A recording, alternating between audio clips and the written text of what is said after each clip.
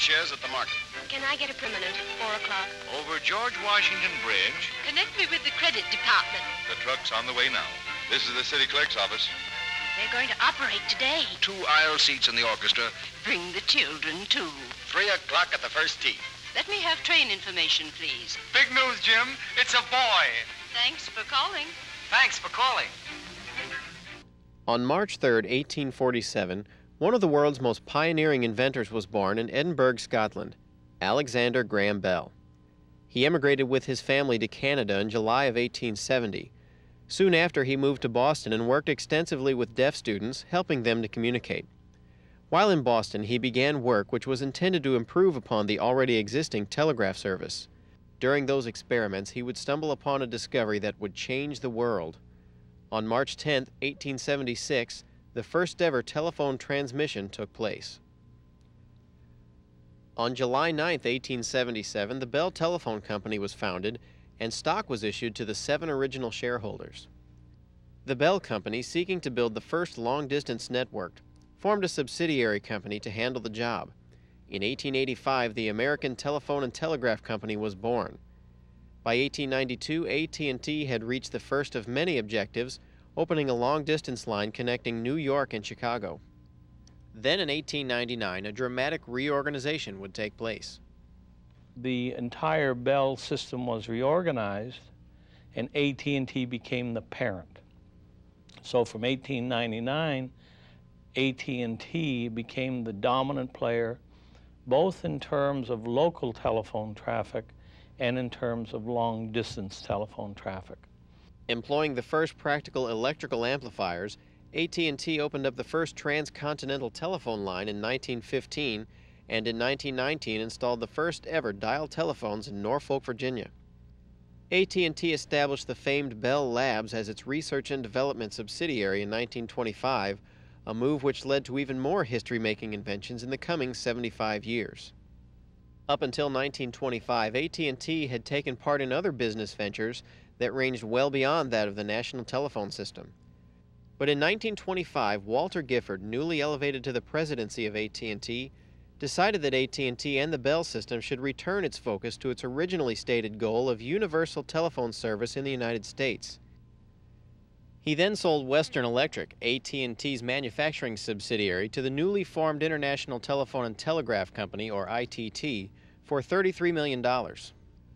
Although AT&T retreated from international manufacture, it retained its international presence through its drive to provide a global telephone service to the American people. In 1927, the first commercial transatlantic telephone service was inaugurated to London using two-way radio technology. These first calls cost $75 for three minutes and were subject to fading and interference, and its capacity was strictly limited. However, the service soon spread to other parts of the world. Radio telephone service to Hawaii began in 1931 and to Tokyo, Japan in 1934. Clearly, the evolution of the telephone was making the world a smaller place to live. Hello, Chicago. Hello, Atlanta. Hello, Boston. Hello, New Orleans. Hello, San Francisco, or London, or Honolulu, or Tokyo, or Rio. And all day long, someone far away is calling, Hello there, Broadway, or Wall Street, or Fifth Avenue, or Flatbush.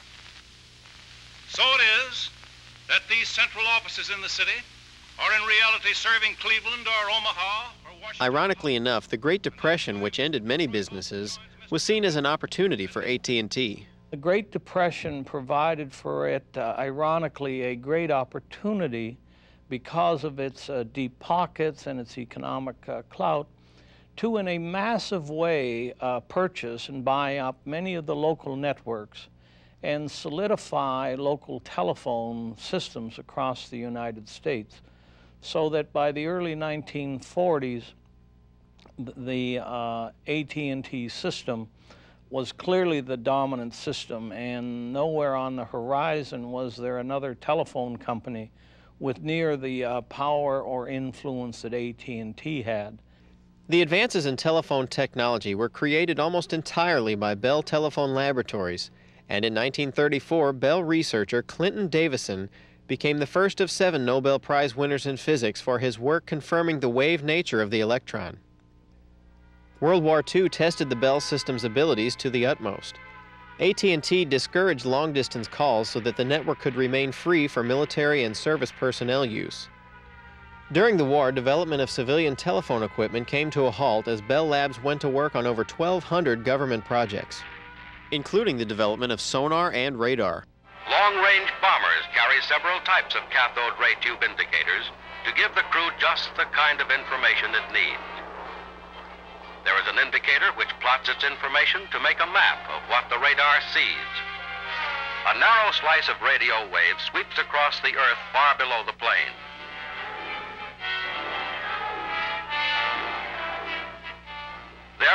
Their bring back information, which appears like this on the cathode ray tube indicator. Bombs away. With radars like these, our fighting men have bombed our enemies without regard to clouds or darkness. AT&T emerged from its war efforts in a weakened financial condition. Pent-up demand created a backlog of unfulfilled orders. But as Bell Labs again returned to its own agenda, they were about to make a breakthrough that would again revolutionize the still burgeoning telecommunications industry and the world forever.